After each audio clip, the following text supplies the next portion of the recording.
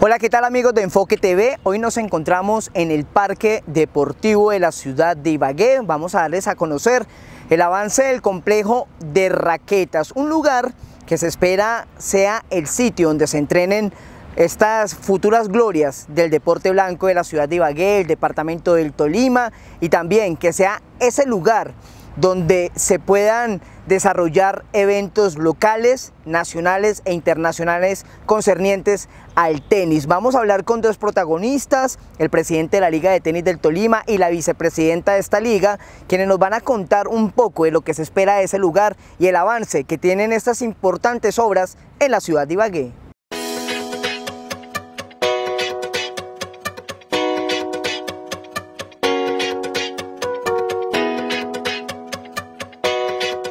Para la Liga de Tenis del Tolima y para todo el tenis tolimense es muy importante lo que está pasando en la ciudad de Ibagué. El recibir la primera cancha del complejo de raquetas le devuelve la esperanza a toda una generación que no tuvo escenarios deportivos donde practicar y realizar actividad física. Desde la Liga de Tenis del Tolima estamos muy complacidos, muy contentos por el avance que viene mostrando la obra de construcción del complejo de raquetas. Esperamos que para el mes de febrero ya estemos inaugurando este tan anhelado espacio donde todos los niños, jóvenes, adultos de la ciudad de Ibagué y del departamento del Tolima podrán iniciarse en el deporte del tenis de campo. Según la Alcaldía de Ibagué y el Instituto Municipal para la Recreación y el Deporte INDRI, a buen ritmo avanzan las obras del moderno complejo de raquetas en el Parque Deportivo de la ciudad, escenario que ya cuenta con la primera cancha auxiliar de tenis construida en polvo de ladrillo. Es de recordar que este espacio contará con cuatro canchas auxiliares y un estadio en polvo de ladrillo que garantizarán el desarrollo de competencias nacionales e internacionales toda vez que cumplen con los estándares exigidos, además de tres canchas de squash donde niños y jóvenes podrán mejorar su práctica. Muy importante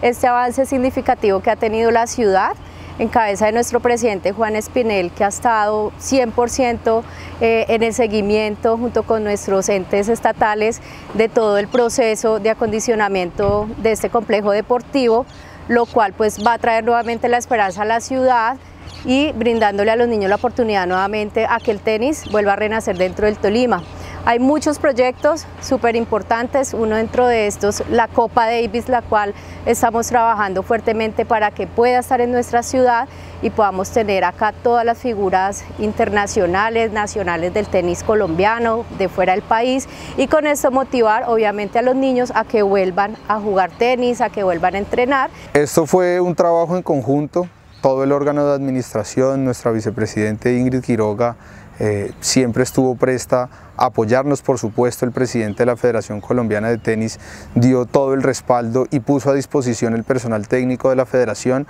para que conceptuara sobre cómo debía quedar el complejo de raquetas, cuáles eran las condiciones técnicas que tenían que cumplir los escenarios para poder recibir eventos de talla internacional. Eh, recordemos que los estudios y diseños con los que se iban a construir inicialmente eh, las canchas de tenis pues estaban un poco desactualizados y no cumplían con los estándares nacionales y ni mucho menos los internacionales. Con respecto a la Liga del Tolima,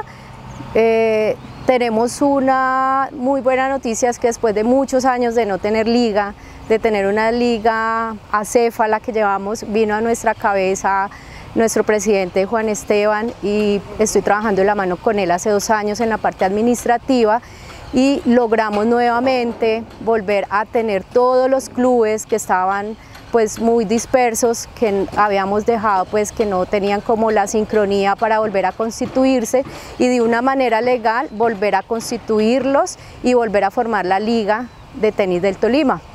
todo bajo la reglamentación, bajo todos los parámetros, estamos operando de una manera muy eficaz, ya tenemos saldos a favor, que eso es súper importante porque todos estos presupuestos también nos dan para poder ayudar a nuestros chicos que nos van a representar en torneos nacionales. El caso también cuando tenemos eh, los torneos de interligas, donde ya con presupuesto que ha adquirido la Liga de Tenis del Tolima han podido viajar estos chicos sin tener que pues, tener ningún costo adicional que antes los papás pues desafortunadamente tenían que costearlos. Hoy puedo decir que gracias a la gestión administrativa y a todo lo que se ha venido realizando estamos logrando estos avances muy significativos y la idea es sostenerlos y poder masificarlos para que todos los niños puedan participar.